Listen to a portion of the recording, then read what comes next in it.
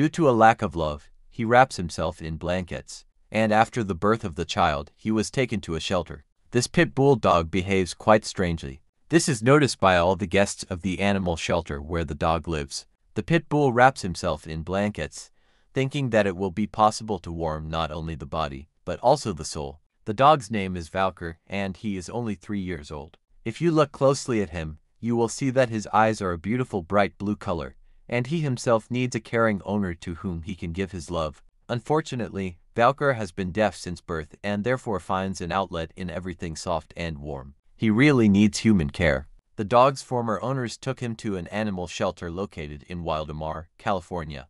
Then people told the shelter workers about the dog's love for blankets. The blanket has a calming effect on the deaf animal. He always sleeps wrapped in it, and he wakes up from a touch or from the desire to play. Why did the owners abandon their pet? According to them, after the birth of the child, Valker began to protect the child from absolutely everyone, and also could not make friends with another pet.